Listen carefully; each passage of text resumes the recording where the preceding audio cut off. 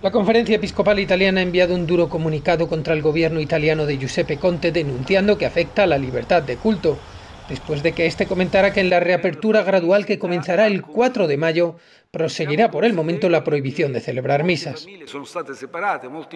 Conte dio detalles de cómo será la gradual y lenta desescalada del país que comenzará en mayo con la apertura de actividades y posibles salidas a visitar parientes, así como la celebración de funerales con la presencia únicamente de 15 personas.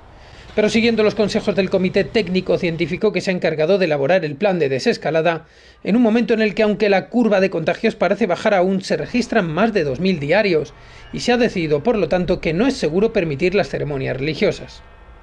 Tras la dura reacción de la Iglesia, el Ejecutivo se ha visto obligado a emitir una nota en respuesta la que dice que el primer ministro toma nota de la comunicación de la conferencia episcopal y confirma lo que ya había anticipado en la conferencia de prensa, que se estudiará un protocolo en los próximos días que permitirá la participación de fieles en las celebraciones litúrgicas en condiciones de máxima seguridad, pero sin citar fechas concretas.